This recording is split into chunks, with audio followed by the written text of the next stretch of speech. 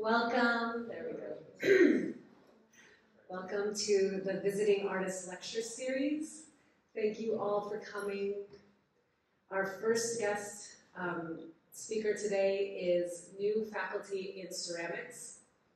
Though not technically a visiting artist, he and his family just moved here from the Bay, and he currently has a solo exhibition in the gallery adjacent here in the theater lobby. Um, please join me in welcoming Wesley Wright.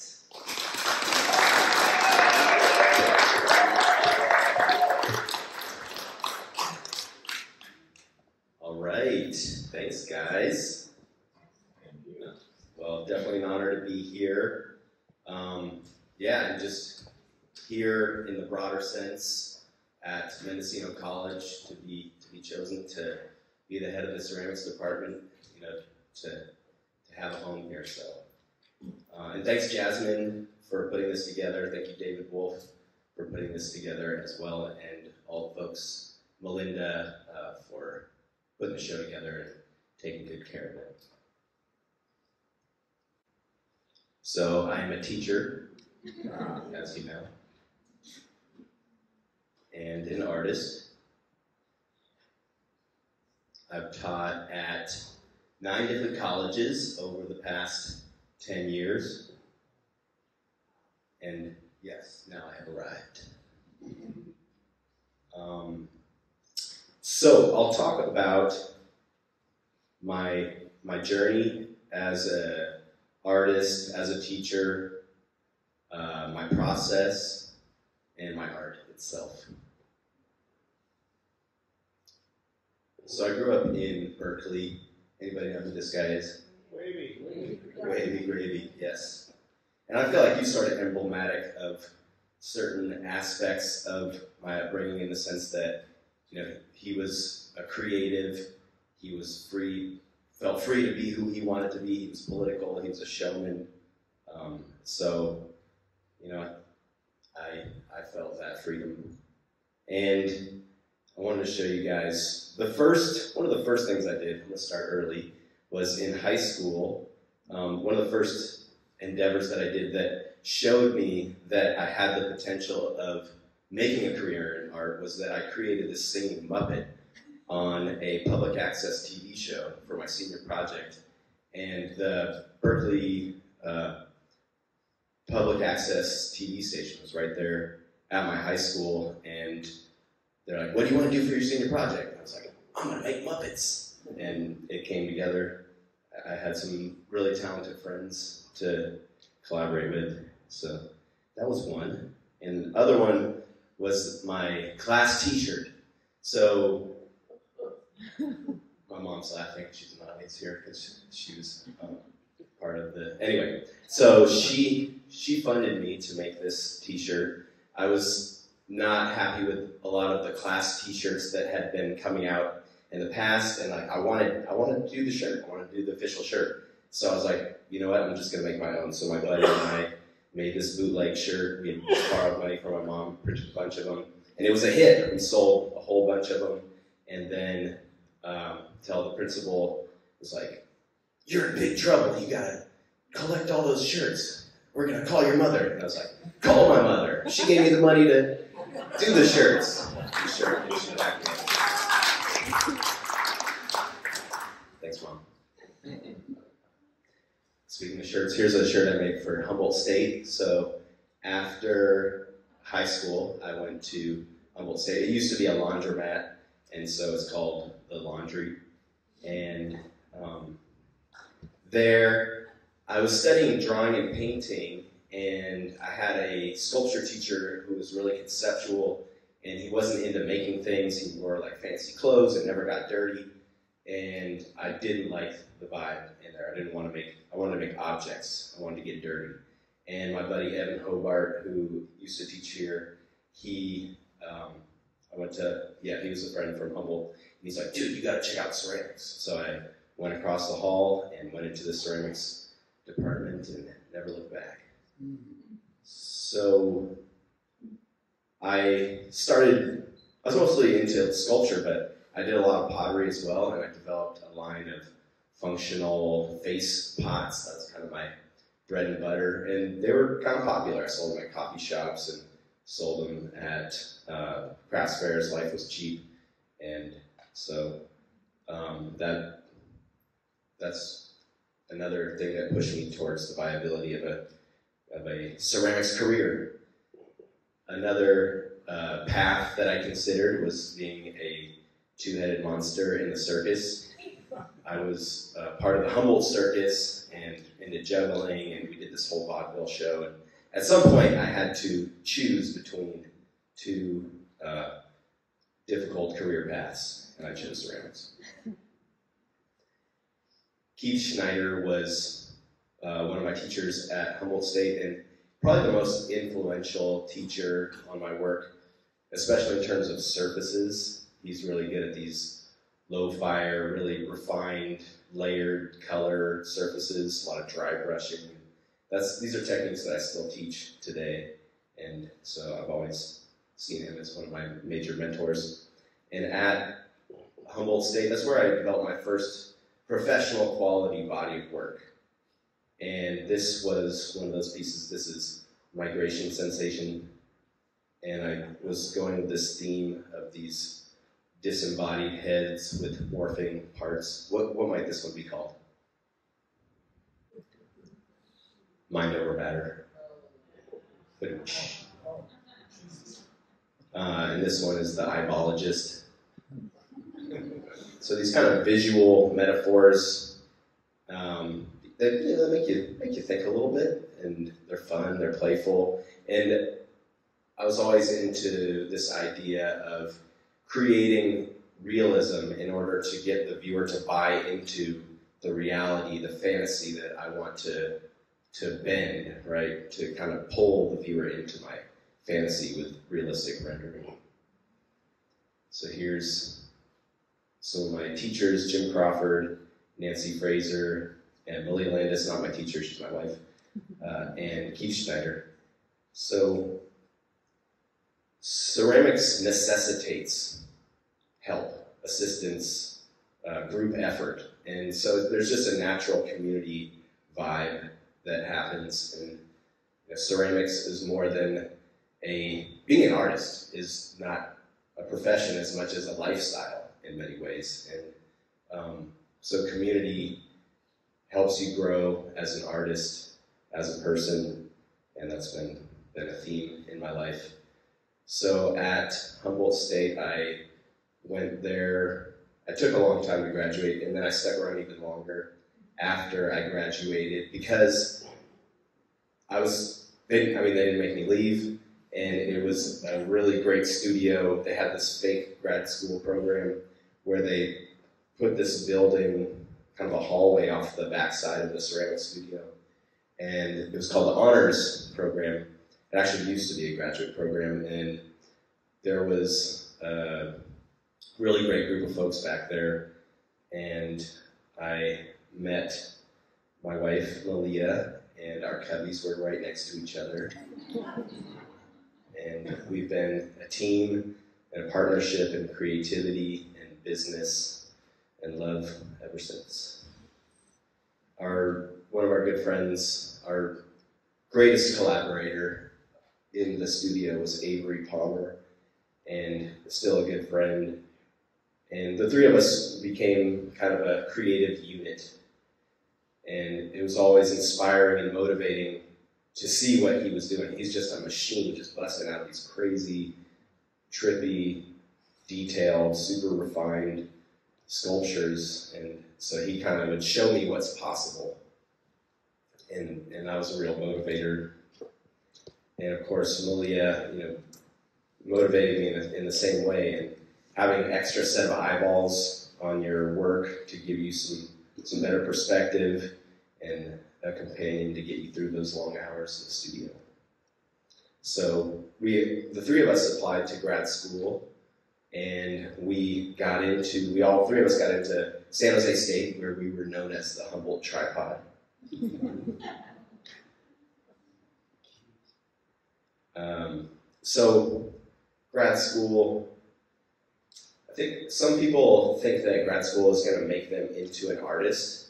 But I would say if you're thinking about grad school, you need to go in there with your own vision, your own ideas. You're there to grow and learn, but you have to kind of stick to your your vision, and you have to have a vision before you go if you're going to use your time well. Because grad school, they want to shake you up, and some people who are not confident in what they're doing, they get shaken up, and then they don't even know where they're trying to go or what they're trying to do anymore. So, um, just wanted to put that out there. So, it was a materials based education in a lot of ways. There was a lot of making happening, but there's also a heavy conceptual bend to it.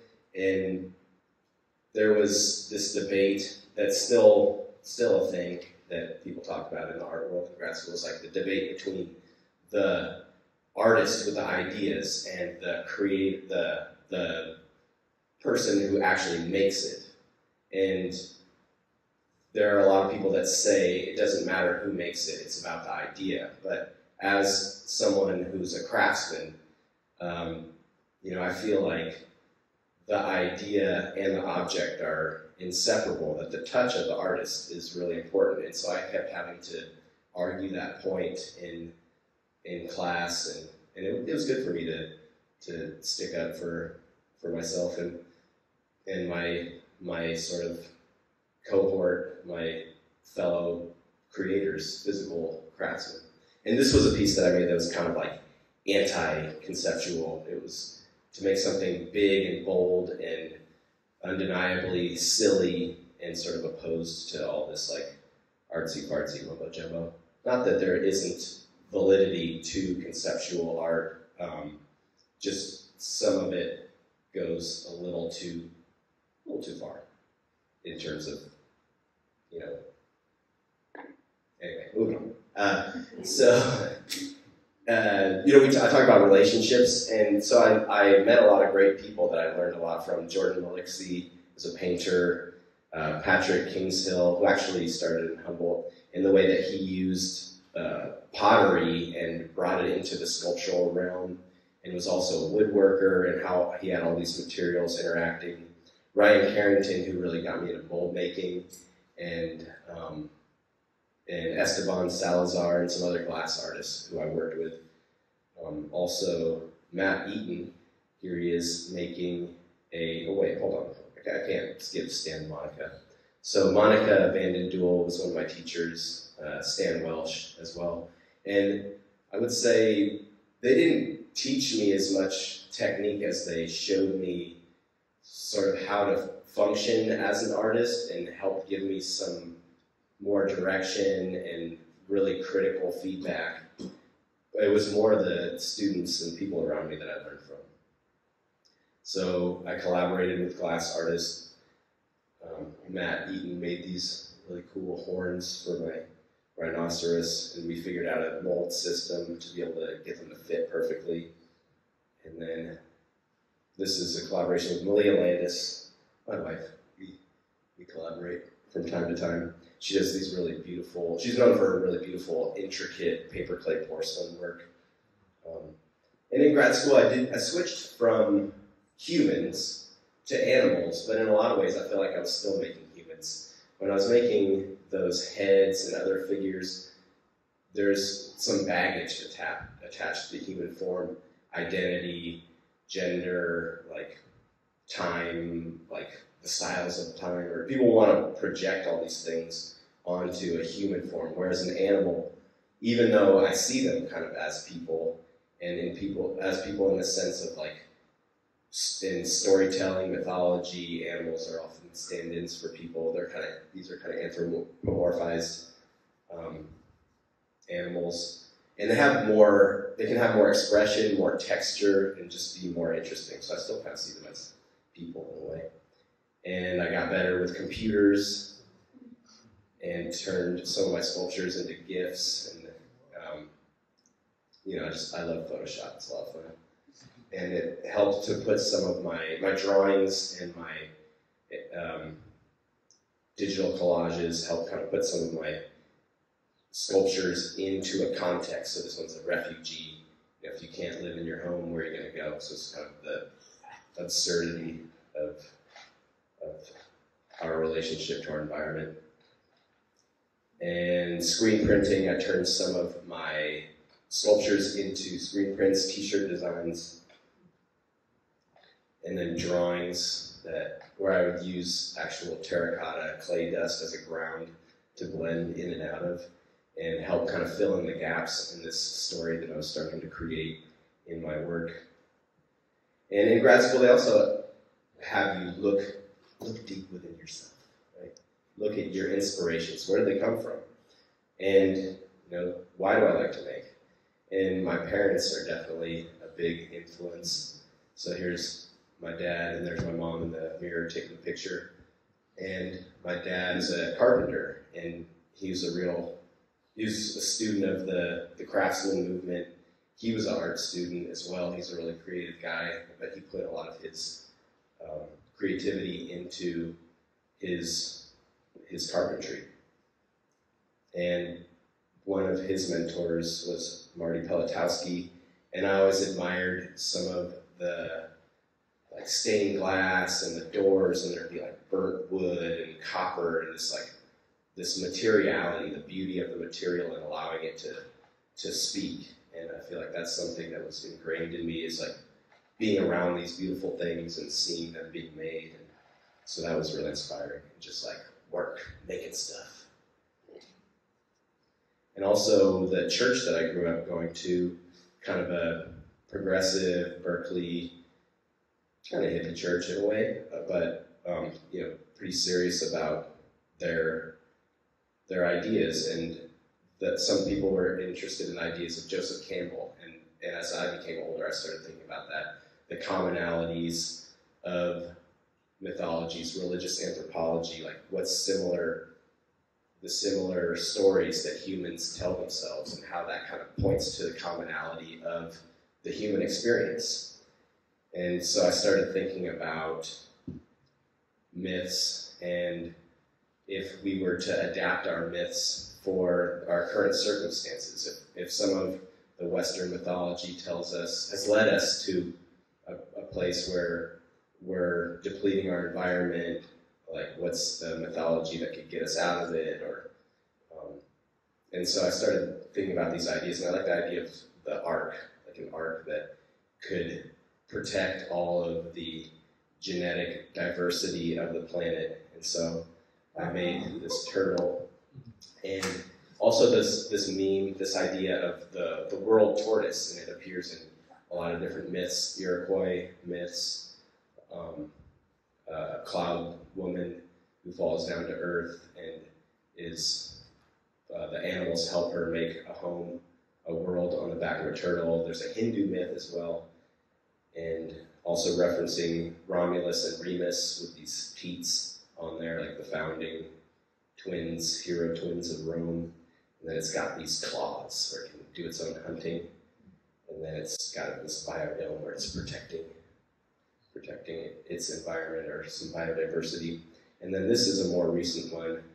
Some of these aren't from grad school, but all still part of the same ideas, ideas that I'm still exploring today. So this one's also a an ark, a vessel, and it could be underwater, it could be in outer space. But I imagine this guy's being like huge, and these windows are like tiny little windows where all the little animals inside could look out. Mm-hmm. And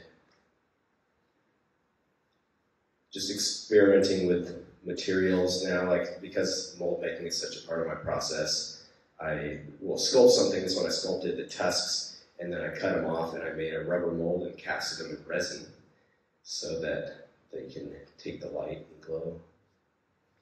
And I love bringing creatures to life, putting a face on them, like getting all those details in there, and then after a while, it's like, oh, I got to show this guy some respect. This it's like a little, it's like a living creature. And I just love that feeling of like bringing something to life and creating in sort of alchemy machine, like its own its own implied logic and order to it. And I mean, some people will be like, "Oh, that's steampunk," and like you know, steampunk, it, you know, there's some cool things like, but I feel like that aesthetic for itself as like a fashion is can be like a little bit superficial. Like I'm I'm interested like literally in implying that this thing is like some sort of machine. And like the, and also contrast is really interesting. The contrast between the organic and the mechanical but you can call steampunk if you using resin i love that like model trains and all the little environments that they make these dioramas so i got all into that stuff i have a closet full of little turf trees and fun things like that some of my work honors native California species. So this one, the California coyote, and then the California poppies grafted onto the surface. And a lot of these protectors, you know, they're they're sort of like the archetype of that animal, almost like a god, or just they're they're kind of in this meditative state in a way. And this one sort of what I was talking about earlier with the idea of a, if you're, this is called the flaws of dead reckoning. If your system of navigation is not working and it might cause you to crash, then maybe you need to change your system of navigation. And also, just aesthetically, um, formally, thinking about creating an interesting contour contrast. So there's some in my work. I'm trying to find where the narrative, the message, uh, and the the visual, visually interesting, compelling image, like where do they all come together? And when when all those meet in a really perfect way, in a balanced way, like that's what some of the best art really is. So imagining uh, this Mole is scouring the detritus of a depleted world and collecting parts that it can use to modify its friends. If they can't adapt fast enough, then they will have their little mole friends help them adapt. And then there's a sculpture that I made of it. First came the drawing. I do sketch out most of my more serious sculptures, um, not in detail, but more as a plan, how I'm going to engineer it, what the gesture is going to be. But some of them do become more elaborate drawings.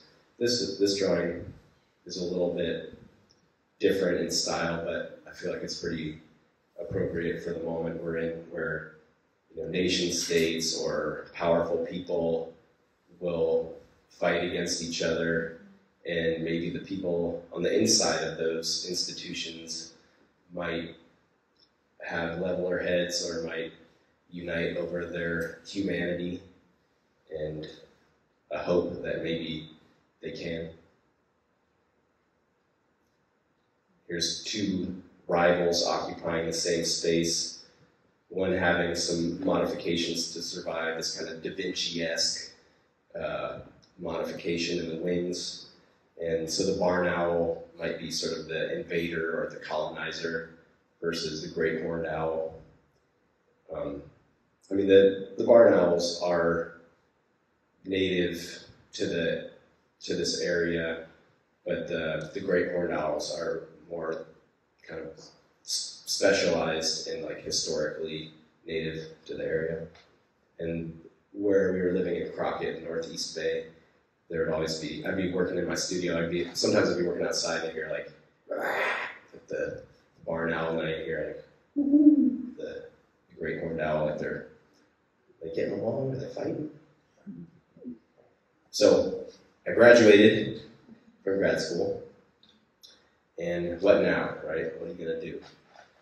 And luckily, I had been, I had an art practice, I had some connections, and I was proactive looking for job opportunities and applying to shows.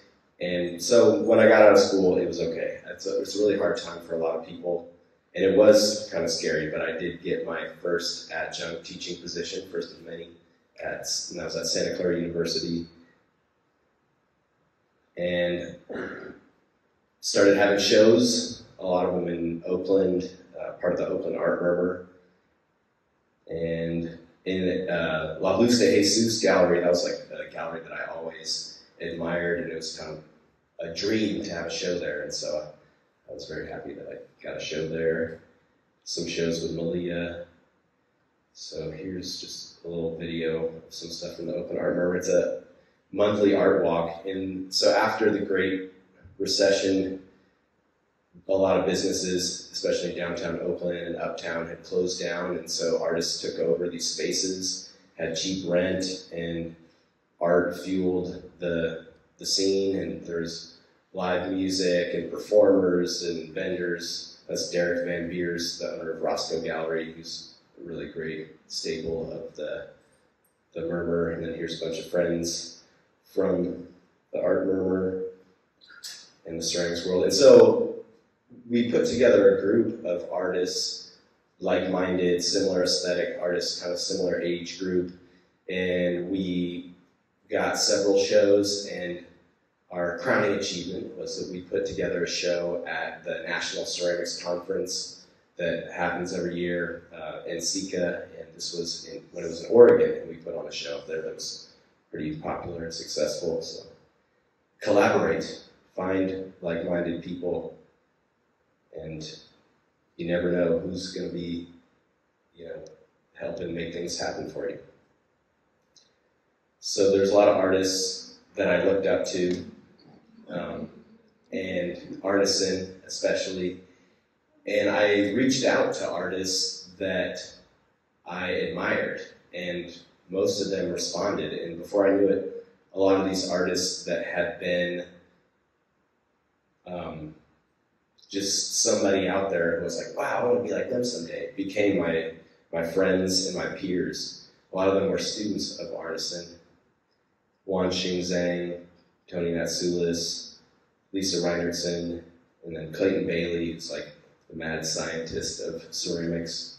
And some of them, I even helped them with some projects. Lisa Reinertson, helped her with a mold project, and my son modeled for one of her sculptures. So here's our studio. We had a live work space in Oakland and Fruitvale. We lived there for about four years. And it was a really cool time, really fun time.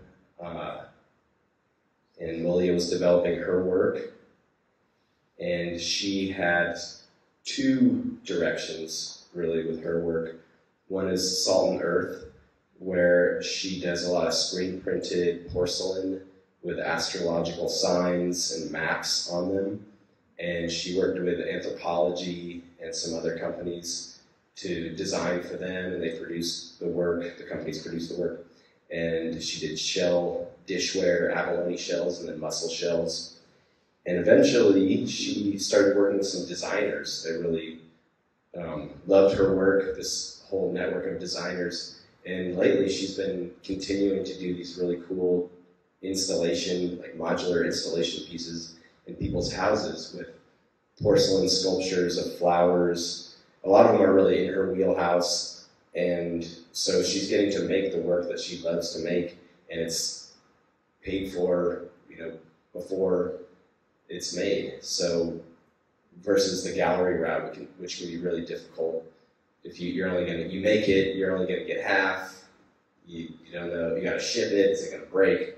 But this has been a really great route for her. This was some sea flowers, this cool abstract uh, project she did. But check her out her Instagram, Malia Landis, and also Salt and Earth. She has two different Instagram accounts. So while we were living in Oakland, I was doing a lot of different projects with, between teaching, making art, and then I started working with Youth Spirit Artworks, which is an organization in Berkeley that works with homeless youth to help teach them interpersonal skills and give them work experience all through the creation of art projects, a lot of them public art projects. So I collaborated with these folks on a mosaic or relief mural that went on the front of their building. and it honored Francis Towns, who was one of their founders and major donors. And we did workshops with schools and churches, and the idea was to get as many people involved as possible. And I'd love to do something like this, uh, get one of my classes involved, get the community involved, and maybe we can do a project like this in Ukiah. So here I am assembling parts in my studio. And like, yeah, figuring out ways that anybody can contribute. People who have more skills, like the a lot of the members of YSA sculpted the birds and the fishes, and then anybody could just write on one of these tiles, and they put their, you know, some, I forget what the, what the theme, well, the theme was visions of Mother Nature, so it's kind of like, what do you, how do you see Mother Nature? And so people would write that on the tile, and the tiles became the the tiles of the sky. So it's like almost like putting a prayer up into the sky. So like that metaphor. And then the hills is like anybody can just stick their hand in this clay, just squish their hand in it, and then their fingerprint is on the. And here's a video of it. There's also a bench. So I made these turtles out of clay, and then cast them in concrete, and then did pressings of native species native plant species and put them all on the mosaic. I taught a lot of workshops, mold making, animal portraiture, and a lot of teaching. And I didn't I never wanted to rely on my work to make a living. I mean, if people were breaking my door down to buy the weird stuff that I make, that would be awesome. But the reality of it is that often an artist will have to reproduce something. Like they find, even a sculptor inevitably is producing a product for a market. And you have to find where your aesthetic, the things you like to make, fit, fit with the market. And people get stuck making the same things over and over. Um, I mean, some people are able to have a lot of freedom in that, but I like teaching. I love helping people achieve their creative vision. I love collaborating, and I see myself sometimes as the head student. You know, I'm always experimenting and learning as well. So that path has really worked for me. So process. Let's talk a little bit about process. How does one make a chicken head turn into a fish? First, you make a chicken head and you make fish. Then you make a mold of each one, and then you cut and assemble the various stages in between. So by cutting and splicing these parts together, I can create this really incremental morph. And so my carpenter father always told me to work smart and not hard. And molds and sprig, sprig molds, stamps really help me to do that. So rather than sculpt every scale on fish, I could make this stamp and then I could stamp that scale texture onto the fish. And then I created this motor that's on that helps the propeller rotate. And so I made molds of gears, these little stamps of screws. I just took clay and stuck it on the back of a screw and fired it, and then I a screw stamp. Assemble all those together, and you get a fish propeller motor. This piece is made mostly with um, press molded, some slip cast parts all assembled together. And I was thinking about the human machine that animals are subjected to. And this is the wolves that used to live in California. They're kind of squeezed out by um, mechanized farming and um, land development. So taking this metaphor of like the human machine and creating it in clay, and then the eyeball being human, anthropomorphizing it because maybe we share the same fate. Are we're going to squeeze ourselves out? So back to Robert Arneson, he was always someone I looked up to. I loved his sense of humor in his work, and he could be silly and profound at the same time. And that's something that I always strived for in my work. And these, he did a lot of these self-abasing portraits. So I was like, let me try that. So I made a portrait of myself, and then I made a mold of the portrait. I made two Wesses, cut them apart, stuck them together, and then I'm able to manipulate them after I, I stick them together, and then colored it, and then worked with some glass blower friends. So the glass balls represent like the ideas, the ideas that you have, and the ones that float away, and the ones that you keep. Tea break. Uh, and then for my animals, or really anything that I sculpt from life, I use lots and lots of reference images. The more the better. Reference videos. So I'm known for my animal portraits. And the way I work is a technique I call half-ass hollow. And I create a paper armature that's wrapped around a piece of wood, and then I stick the clay over that and so it's a little bit hollow. But if you if you try to sculpt the walls really even all the way through, your sculpture can become kind of stiff. So by working kind of thick but still hollow, I'm able to not have this crazy heavy sculpture, but I'm able to then manipulate it more freely, and then I can hollow it out at the end. I can I can cut it and do the rest of the hollowing.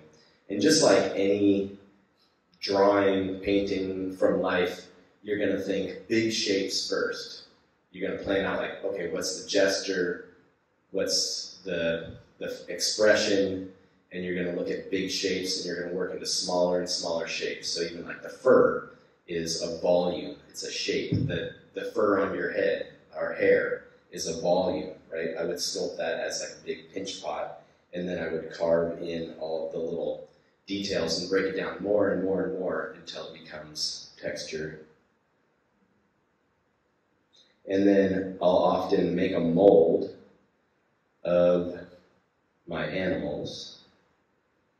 I'm just going to zip through this a little bit. You got to isolate the sections so you don't have undercuts.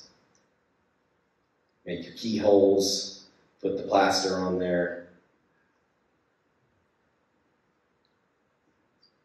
and then isolate the next section, pour more plaster. And if you allow the plaster to get kind of thick, you can you don't need uh, to make a reservoir for it. You can just scoop it on there. As long as you get a nice detailed layer on your first application, and then you can build up the thick stuff after that. So I will then have these molds and I pack them so I take chunks of clay, I throw them in there, I punch them in there, and so I'll pack this whole mold with clay. And I can estimate the thickness, trying to get that half inch thickness all the way through. And then I can create multiples. And I can be more loose with how I how I render them. I can now cut it, twist it, paddle it. Oh, I messed it up. I'll make another one.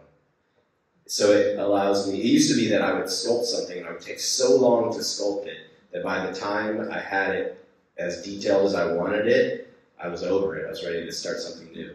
But then with this mold process, I could do a whole series. Mm-hmm. So I make a chimpanzee, and then I, I, can do that series, the shaman.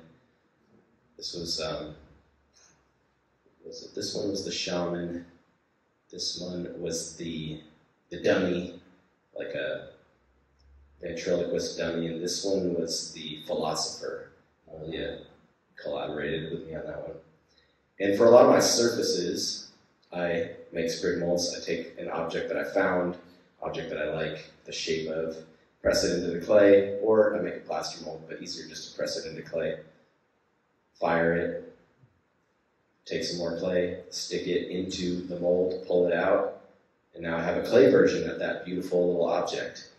And again, you know, working smart and not hard, I can take these beautiful, elaborate objects that I would take like years to get that detail by myself, but because I can, I can make a whole bunch of them.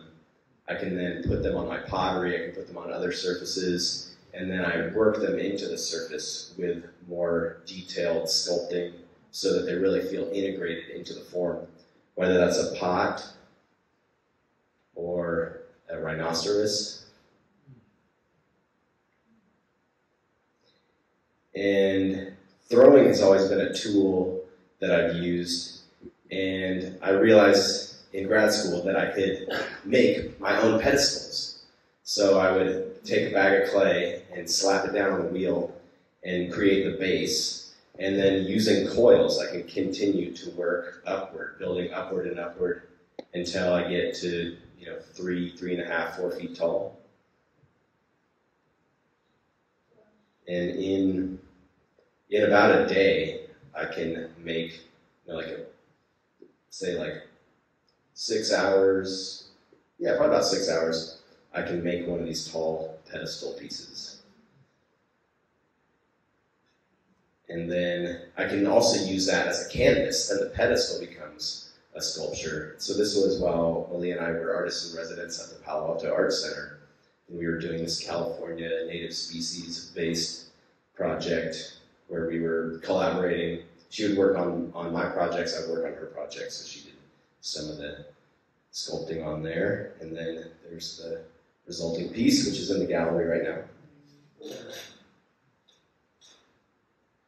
And so I wanted to end by talking about family. so, as an artist, you have to live your life to find inspiration and meaning. And it's always a struggle to find balance between making an art, making art, and living your life and creating your own stories. So, besides the satisfaction of making a little masterpiece that loves you back, you you get to see what what art is really all about. Like why why we make. The urge to get your hands dirty. The sensation of being alive, to love nature, to get out there and experiment with nature, to make things, to tinker, to explore the world around you, understand how the world works, to perform and express yourself, but of course, playing with fire.